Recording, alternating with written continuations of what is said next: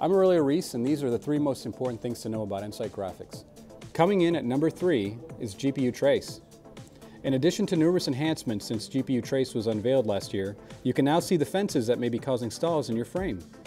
Also, as requested by many developers, we'll be unveiling the all-new metrics graphs, a new feature that allows you to see low-level GPU metrics over the course of your frame.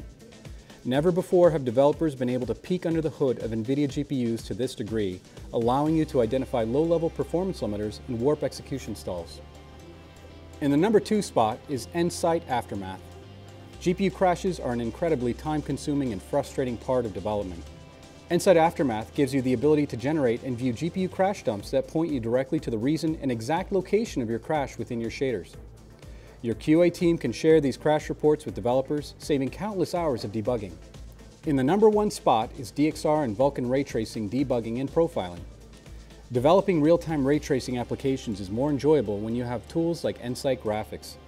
With full support for debugging DXR and NVIDIA VK Ray, you can inspect the shader bind table, pipeline state objects, acceleration structures, and dispatch rays or trace rays calls, giving you full visibility into your ray trace scene.